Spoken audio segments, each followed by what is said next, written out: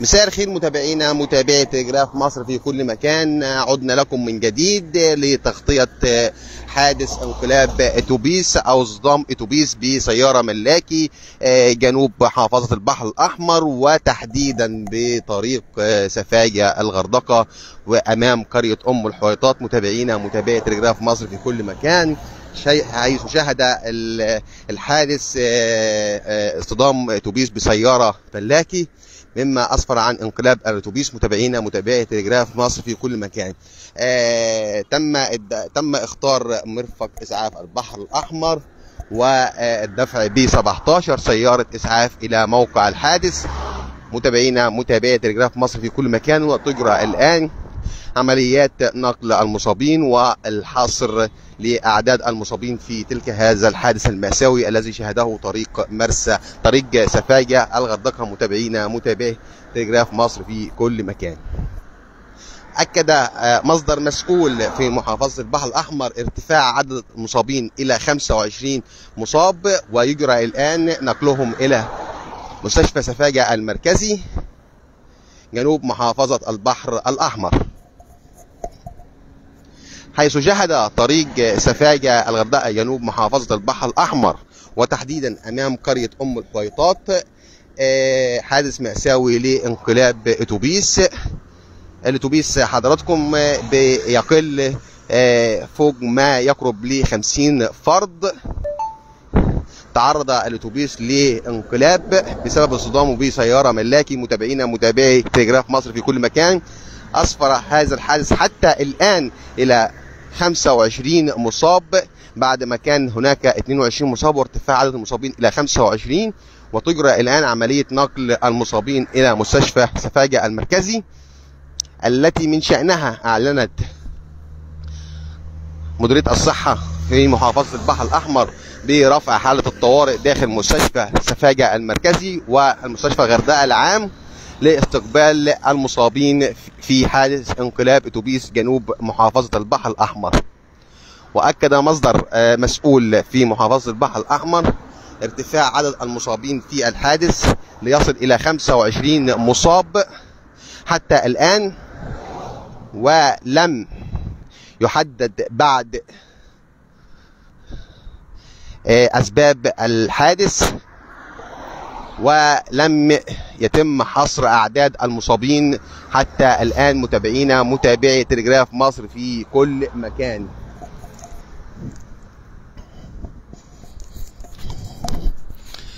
آه مرة أخرى متابعينا متابعي تلجراف مصر في كل مكان. شهد طريق سفاجة الغردقة جنوب محافظة البحر الأحمر حادث مأساوي لانقلاب أتوبيس يقل ما يزيد عن خمسين شخص وأسفر هذا الحادث عن خمسة وعشرين مصابا وارتفاع عدد المصابين طبقا لما أكده أكد مصدر مسؤول في تصريحات خاصة لتلجراف مصر. ارتفاع عدد المصابين من 22 شخص إلى 25 شخص وتجرى الآن عمليات نقل المصابين إلى مستشفى سفاجة المركزي. وأعلنت مديرية الصحة بمحافظة البحر الأحمر إعلان حالة الطوارئ لاستقبال المصابين حادث انقلاب أتوبيس جنوب البحر الأحمر. هتكشف الأجهزة المختصة خلال الساعات القادمة أسباب هذا الحادث. متابعينا متابعي تلجراف مصر لأن هذا الطريق يعني منذ فترة طويلة لم يشهد مثل هذه الحوادث. الكبيرة ولكن دعونا خلال الساعات القليلة الماضية ستكشف الأجهزة المختصة أسباب هذا الحادث الذي شهده جنوب محافظة البحر الأحمر منذ قليل متابعينا متابعي تلجراف مصر في كل مكان. متواصلين معاكم ومع المصادر الرسمية هنا في محافظة البحر الأحمر لرصد جميع تفاصيل هذا الحادث المأساوي الذي شهده طريق جنوب محافظة البحر الأحمر وتحديدا مدينة سفاجة أمام قرية أم الحويطات أن هناك ارتفاع في عدد المصابين ليصل عدد المصابين إلى 25 مصاب. حتى الآن ولم يتم حصر أعداد المصابين متابعينا متابعي تلجراف مصر في كل مكان. آه، مرة أخرى آه، شهد آه، طريق جنوب محافظة البحر الأحمر آه، وتحديدا مدينة سفاجة أمام قرية أم الحيطات انقلاب أتوبيس مما أسفر عن إصابة 25 شخص حتى الآن. ولم يتم حصر أعداد المصابين متابعينا متابعي تلجراف مصر في كل مكان. وأكد مصدر طبي مسؤول مصدر رفيع المستوى في تصريحات خاصة لتلجراف مصر أن آه، الإصابات أو حالات المصابين آه، حالات يعني إصابات كلها آه، خفيفة أو معظمها ما بين سحجات لكدمات وبيتم الآن عمليات الفحص الطبي لهم للمصابين الذين وصلوا إلى مستشفى سفاجة المركزي. وجميع الإجراءات الطبية اللازمة لهم متابعينا متابعي تلجراف مصر في كل مكان. مرة أخرى أذكر حضراتكم شهد طريق سفاجة آه، البحر الأحمر جنوب محافظة البحر الأحمر وتحديدا آه، أمام قرية أم الحيطات جنوب مدينة سفاجة.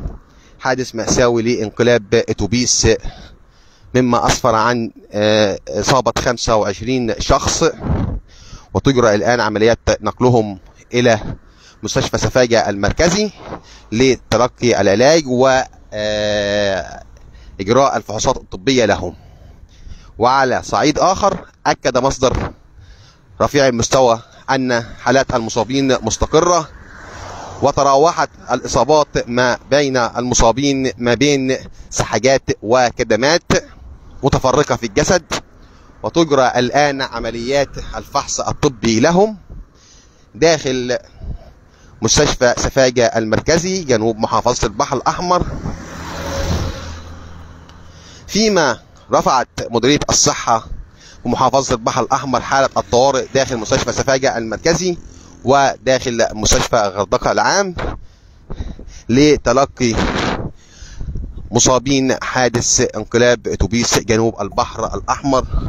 وأيضا الأجهزة المختصة في مدينة سفاجة جنوب محافظة البحر الأحمر رفعت حالة الطوارئ والآن يتم إخلاء المصابين من هذا الحادث. متابعينا متابعي تلجراف مصر في كل مكان. بنرصد لحضراتكم الحادث المأساوي التي الذي شهده طريق آه، جنوب محافظة البحر الأحمر وبالتحديد بمدينة سفاجة جنوب مدينة سفاجة أمام قرية أم الحويطات حيث أسفر هذا الحادث عن إصابة 25 شخص حتى الآن ولم يحدد بعد عدد المصابين في هذا الحادث. ويتم الآن إجلاء المصابين إلى مستشفى إخلاء المصابين إلى مستشفى سفاجة المركزي لإجراء الفحوصات الطبية اللازمة لهم. والتأكد من سلامتهم متابعينا متابعي تلجراف مصر في كل مكان. فيما أوضح أكد مصدر مسؤول في تصريحات خاصة في لتلجراف مصر أن معظم الإصابات ما بين خفيفة إلى متوسطة وتراوحت الإصابات ما بين سحجات وكدمات عند البعض وتجرى الآن عمليات الفحص الطبي الشامل لهم وإجراء الأشعات والتحاليل اللازمة داخل مستشفى سفاجة المركزي. للتأكد من سلامة جميع المصابين.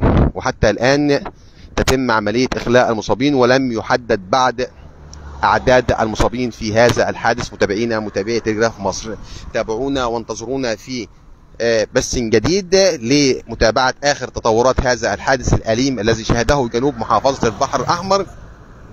طبقا للمصادر الرسمية هنا في محافظة البحر الأحمر. التي نتابع معها هذا الحادث المأساوي متابعينا متابعي تلجراف مصر في كل مكان. شكرا لكم والسلام عليكم ورحمة الله وبركاته.